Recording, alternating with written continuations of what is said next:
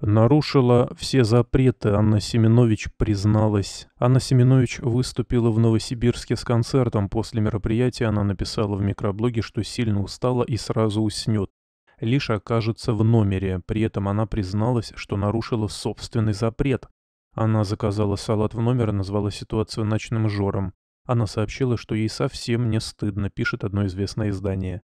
«Мне вкусно и обалденно», — уточнила певица. У Семенович, которая постоянно борется с лишним весом, есть собственная система, помогающая сбросить ненужные килограммы. Живи в кайф и ешь все, что хочешь, но немного.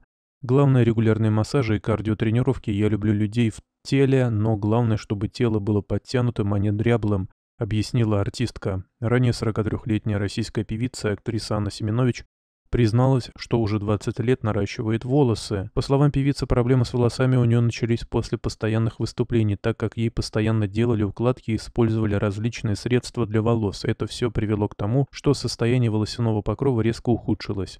Добавим от себя, что Анна Семенович выпустила клип на песню «В космос». Российская певица Анна Семенович опубликовала на YouTube новый трек под названием «В космос». В композиции артистка поет про космическую любовь с мужчиной. В видеоряде Семенович меняет множество образов, в одном из них поклонники обнаружили отсылку к наряду американской певицы Карди Би на обложке ее дебютного альбома.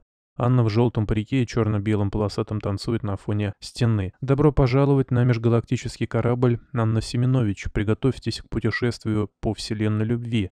Зажигательная диско, легкие танцы, яркие образы, космические формы написано в аннотации к клипу. Клип был снят режиссером Мари Айянян, которая также работала с глюкозой, Марком Тишманом, Машей Шейх и другими.